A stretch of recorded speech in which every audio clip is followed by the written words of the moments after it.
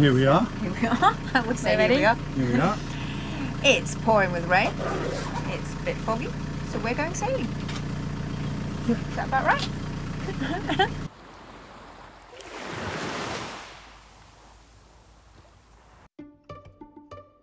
So, having dropped the mooring in Loch Sween, our first objective was to get to the Isle of Gigha, where we had a table booked at a restaurant called the Boathouse. After Gigha, the only other plan that we had was to try and see the puffins on the Isle of Lunga, which is on the west coast of Mull. This trip would see us visiting five islands over six days, doing our best to avoid some poor weather, and encountering an unusual visitor at one of the anchorages that we stayed at. So come along with us as we share our experience of circumnavigating the Isle of Mull on the west coast of Scotland.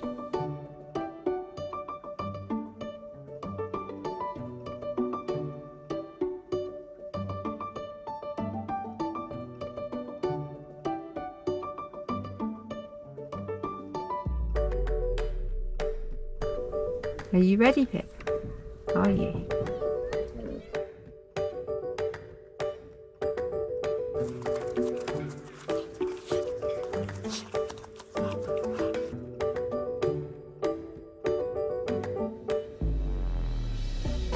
What are you going to have, Penny?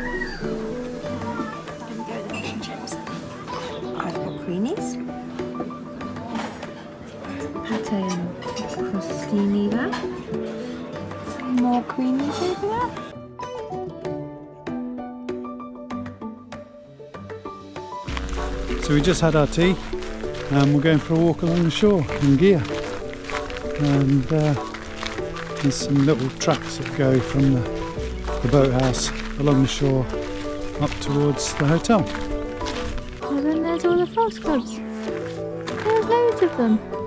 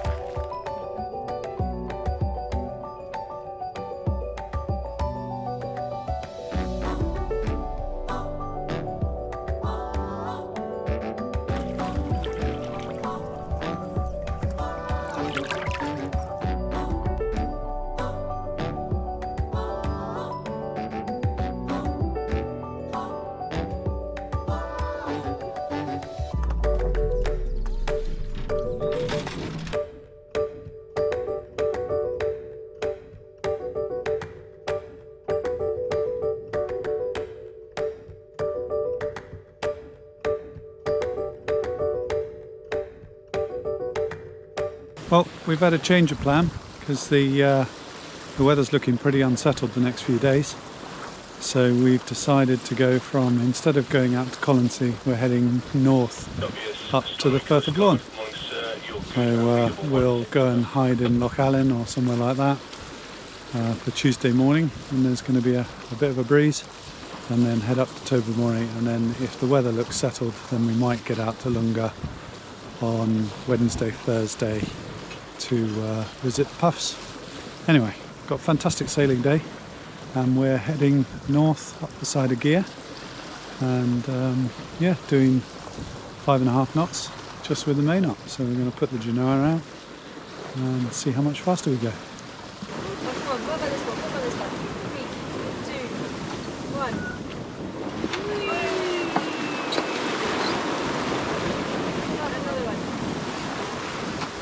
Here goes the Jura passenger ferry. How are you doing, Skipper? I'm doing good. Yeah? I think we'll avoid that island. Where are we going? Over there somewhere. Over there somewhere. So this is what champagne sailing looks like.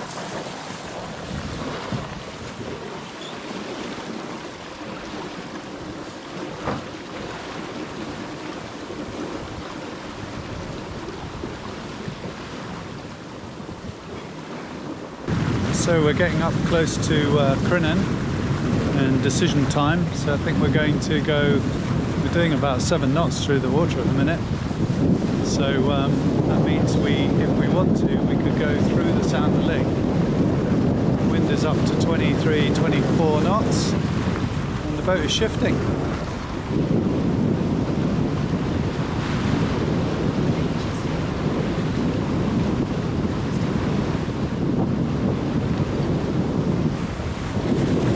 Might put a reef in. But, um, it's looking quite steady at about 24 knots. So we'll stop filming and put a reef in.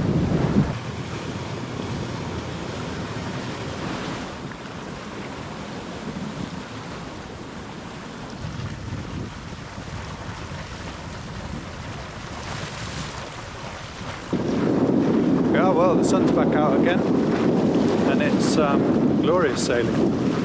So we're just going past the north end of Jura and there's the Corryvreckan, the Corryvreckan in the gap and we're heading into the Sound of Luing which is dead ahead.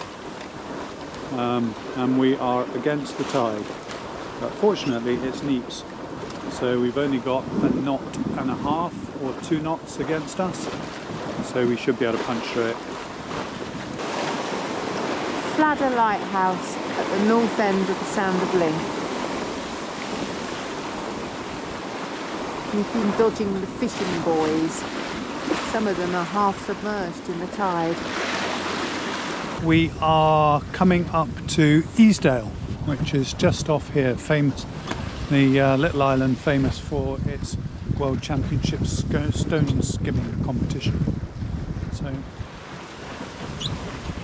that's Easdale, with all the waves breaking on it.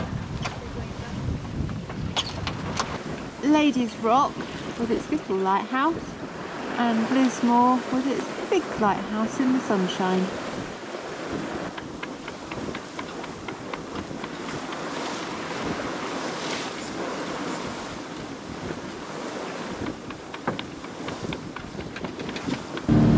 We've been sailing for 12 hours, I think, kind of, well, not, not quite 10 hours. So we thought it was prudent to uh, bung the engine on, get on with it, and um, get in.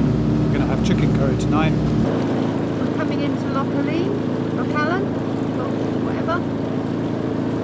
Lots of boats anchored up at the far end.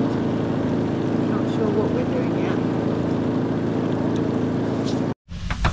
Tuesday morning, opening up the hatch.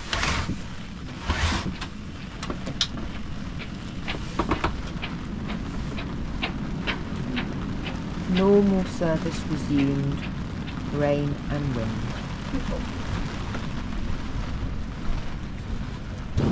How are you doing, Skipper, in the rain? It's a beautiful day on the west coast of Scotland. So You, you were saying? cheese toasties and pork pies and cuppa soups for lunch. Thank you. I think we might need the other board in.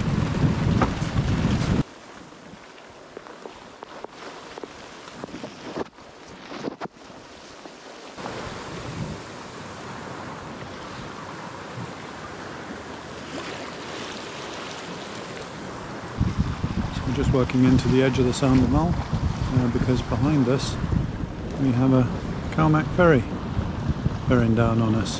So um, let's keep out of his way.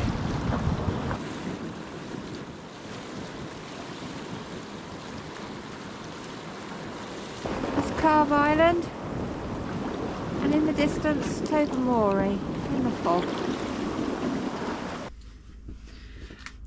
Should I go sit on that side? Look at that clotted cream. Mm, Which way round you put it on, Mama? Wow. I prefer cream and jam. That was, that'd be the right way to do it then, wouldn't it? Is that Devon or Cornwall? I, I think Devon, it's isn't it? Devon here. Pip's last walk of the day, and a walk up to the waterfall behind the marina. This is what the view should be. This is what the view is.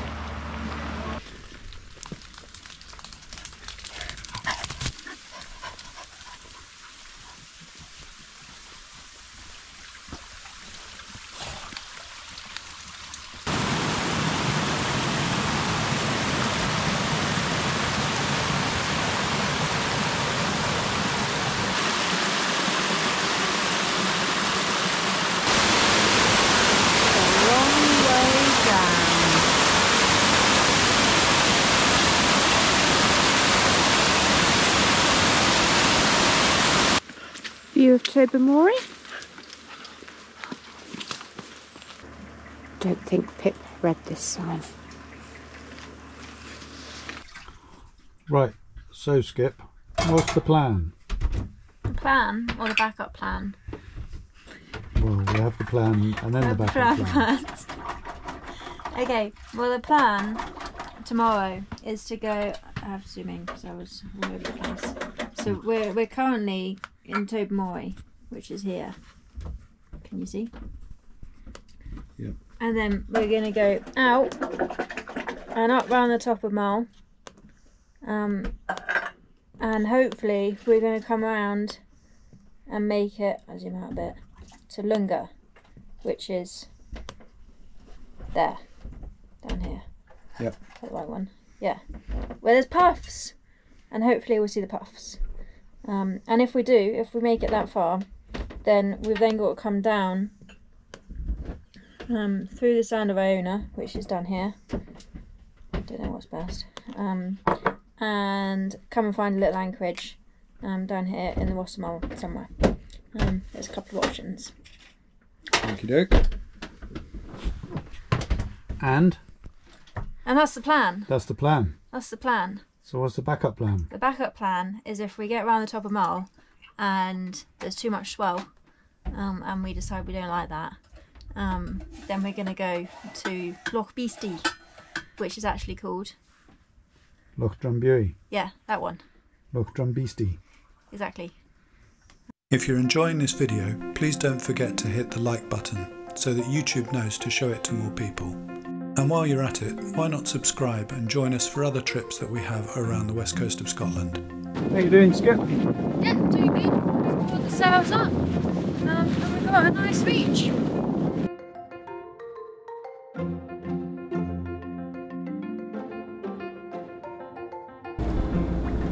Freshly Shiles. We're going to the one right down the end, longer.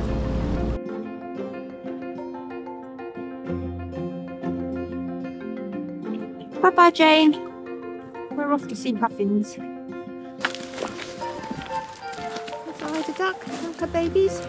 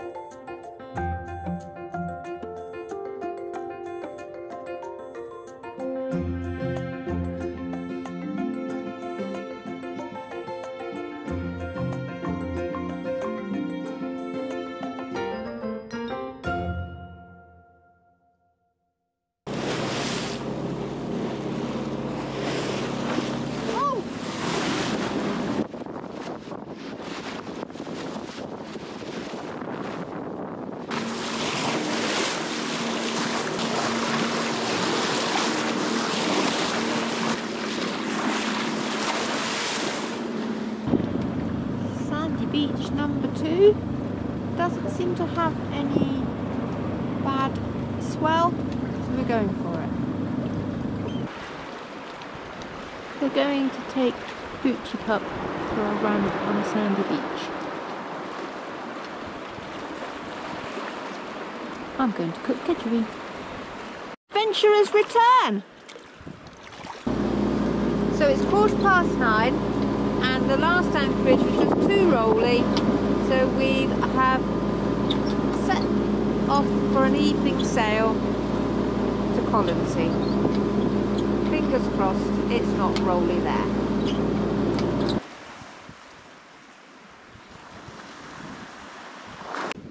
How's the new anchorage, Mum? it's so much better. We're off to the beach. Again, it's a bit later this time.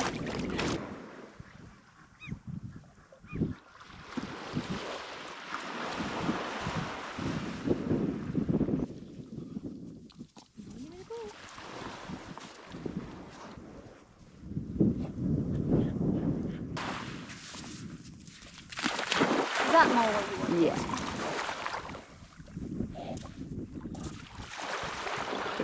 It's a nice shape now. Good girl. You're a good girl. So what sort of sailing is this? It's champagne sailing, Mum. Champagne sailing. My obligatory winch shot.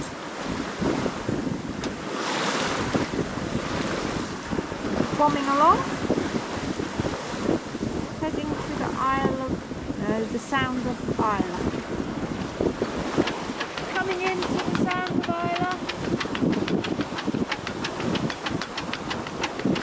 Islay. Lighthouse. Bit shallow next to it, so we're keeping well off.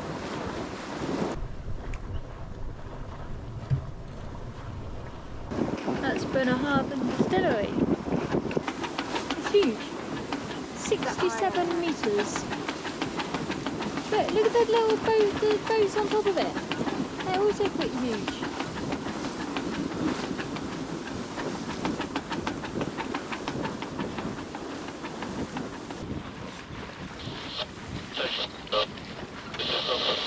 Say again, station name, over.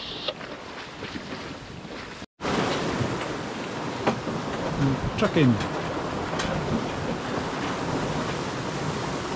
How are you doing, Skipper? Caught the sun today. Again? Yep, Caught it yesterday. I did. Yeah. Coming into Craighouse? Lighthouse on Goat Island. A bit more, Amy. Come on, heave. bit more.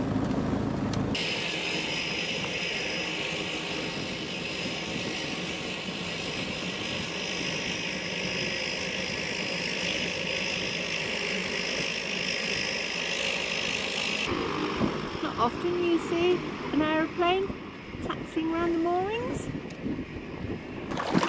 What do you reckon, Pippi? What do you reckon? Is the shore that way, is it? Off you go then, Eames. Cross the stepping stones. Why are you sending me first as a sacrificial lamb? That's the one. I've got you on video. What have you bought, Eames? Got some gin. What sort of gin is it, Eames? It's Lussa gin. Lussa From up the gin. road.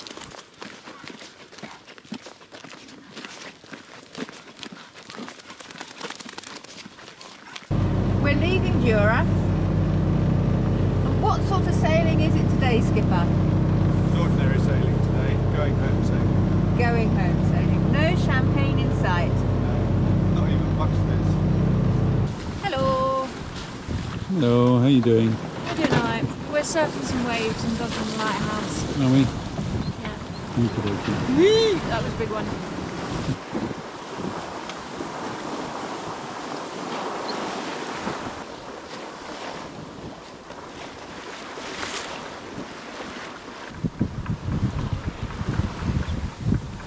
It's coming through the MacCormaigs and into the towards the entrance of Loch Sween.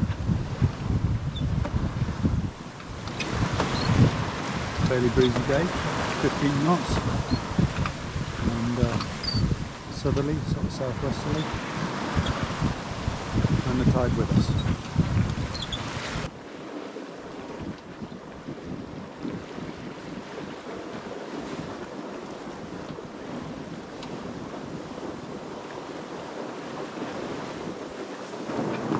If you've enjoyed this video, please help us by clicking the like and subscribe buttons and sharing your thoughts in the comments section below. We also hope that you'll join us for the next one, where we sail around the Isle of Skye.